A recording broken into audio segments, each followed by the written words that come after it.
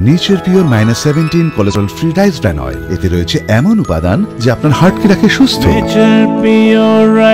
আপনার হৃদয় সত্যিকারের বন্ধু। বাড়িতে নিত্যদিন মদের আসর বসানোর প্রতিবাদ করায় ভাইপোর দ্বারা আক্রান্ত কাকা এবং কাকার পরিবারের সদস্যরা।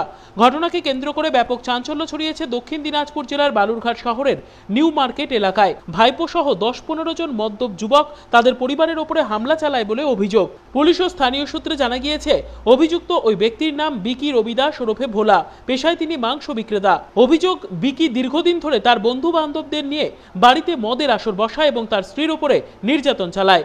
এই নিয়ে তার সাথে তার কাকাদের প্রায়শই ঝামেলা লেগেই থাকতো। গত পরশু বিকি পুনরায় বাড়িতে মদের আসর বসালে তার কাকারা এর প্রতিবাদ জানায়। সে সময় মদ্যপ অবস্থায় বিকি ও তার বন্ধু বান্ধবেরা তার কাকাদের উপরে আক্রমণ করে বলে অভিযোগ। এই ঘটনায় তার কাকাতো বোনের বুকে আঘাত লাগে, হাত ভেঙে যায় স্ত্রীর। বর্তমানে তারা বালুরঘাট জেলা হাসপাতালে চিকিৎসাধীন। এক কাকাও গুরুতর জখম হয়। গতকাল রাতে এই ঘটনার পুনরাবৃত্তি হয় বাড়িতে। সে সময় প্রতিবেশীরা রুখে দাঁড়ালে বিকি সহ তার বন্ধু বান্ধবেরা পালিয়ে যায়। খবর পেয়ে ঘটনাস্থলে ছুটে যায় বালুরঘাট থানার পুলিশ পুলিশের কাছে বিকি রবি দাসের বিরুদ্ধে লিখিতভাবে অভিযোগ জানানো হয়েছে। ঘটনার তদন্ত শুরু করেছে পুলিশ।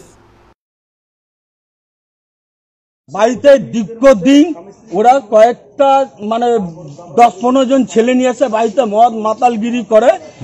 আর পুরা ভাবে আমাদের মা বোন আছে।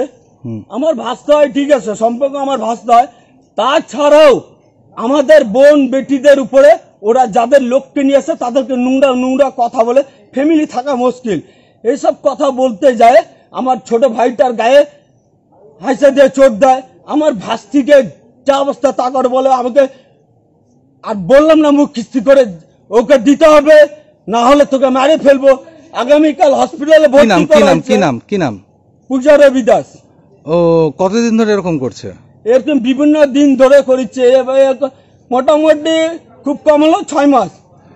ছয় মাস ধরে করছে। আপনারা আজকে আটকাতে গেলে আপনাদের উপরে কি করে? আটকাতে গেলে এরা কয়েকটা বন্ধু বান্ধব নিয়ে আমাদের বাড়িতে প্রথমে হামলা করে।